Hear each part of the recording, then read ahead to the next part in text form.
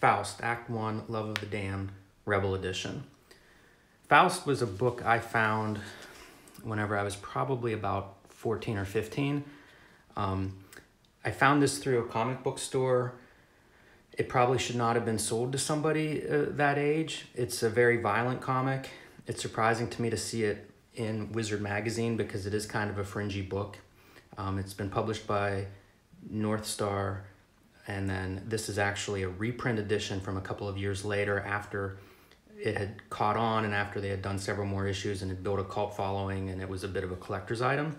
So this is Act 1, Love of the Damned, Rebel Edition. And you can see on the cover there is a, a cut off head in Faust's hand. Um, he has two claws similar to the popular Wolverine style claws. Faust is kind of a NC-17 cross between Wolverine and Batman. And uh, the Grim Reaper is, is very apt for this cover. Faust is a bit of a an unhinged personality. He spends a lot of time, one of the characters is his psychoanalyst. And uh, we see things that Faust sees, which are demons and stuff that appear in his eyeballs and around him whenever he's performing these violent actions. So I think that these skulls with the glowing red eyeballs are appropriate for that.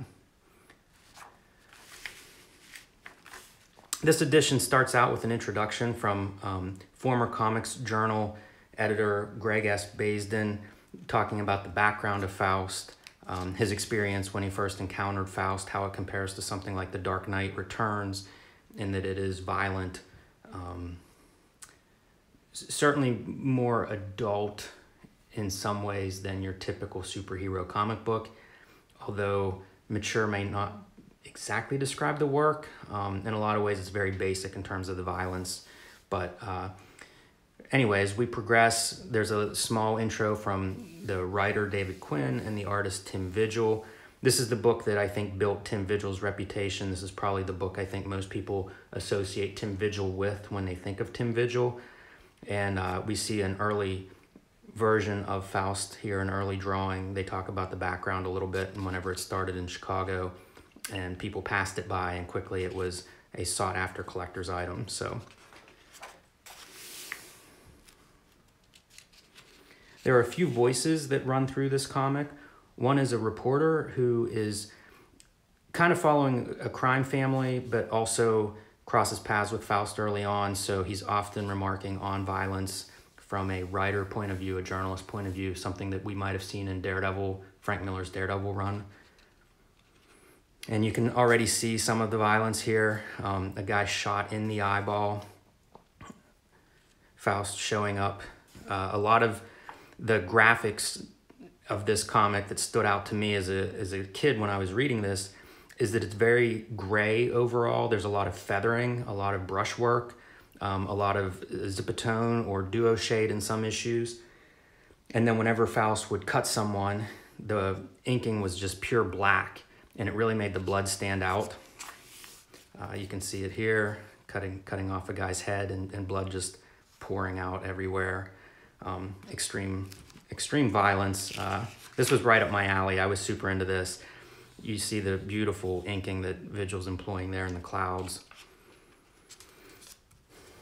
Uh, the other part of Faust that makes it not kid friendly is the sex. So, you know, we get this very early on here.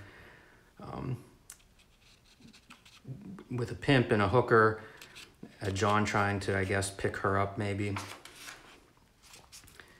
This is the reporter character out chasing vice stories at night. We get to see a little bit more of the sex that is a major part of this comic.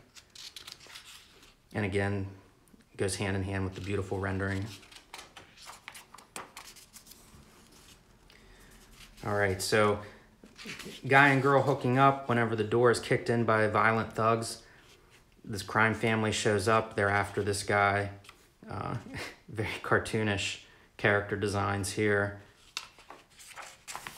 They waste the guy, declare sex is dirty, cool lettering sound effects. And then they turn their attention to the girl and we get a close-up reflection of the gun as, as they execute her.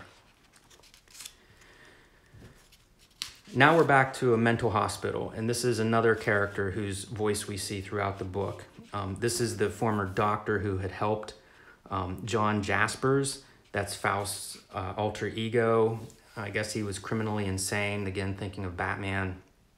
Um, Will Eisner, also a member of this. Uh, Howard Chaykin, Ditko, John Buscema, um, probably Neal Adams. I'm guessing not Art Adams, but who knows? Gil Kane, Miller.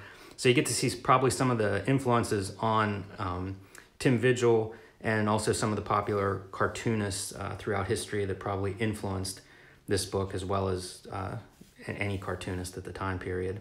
So she's in an argument with the head of the hospital and quits her post over whatever went wrong with John Jaspers. He died under anesthesia. He, uh, the head of the hospital doesn't seem to care. Um, John's therapist, however, does not like that, does not accept that. So she resigns and leaves and goes out to, I guess, uh, maybe drink away her troubles.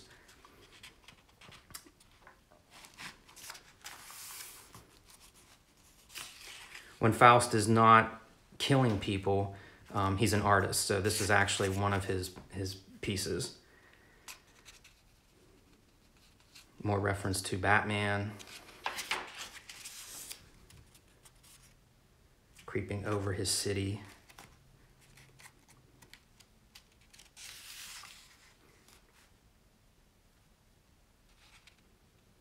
This book is full of tormented characters, so we often see expressions of anguish, whether it's in characters that are actually physically suffering or uh, a visual representation of their mental anguish. We get out on the streets, thugs accost the writer,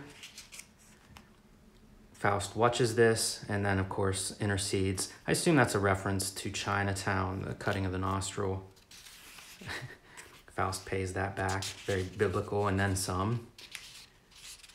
The thugs always talk tough, but they don't last. Again, the black blood. Oh, gutting this guy. Full page splash. Great use for a full page splash. Get to see the reporters just shock at what's unfolding in front of him. Skull inside of Faust's eyeball.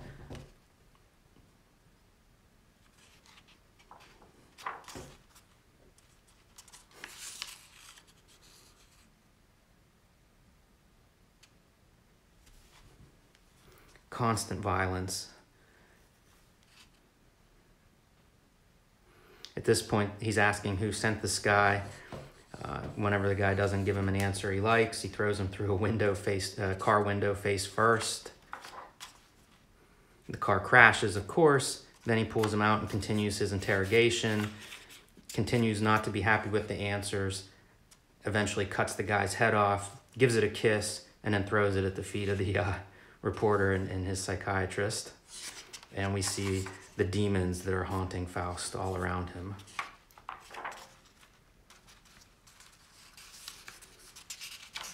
reflection of all the main characters here, including the dead guy thinking about his upcoming funeral and Faust's demons. And that's where we end. Uh, very melodramatic with their emphasis on real. This was her attempt to describe the blood that uh, surrounded this patient.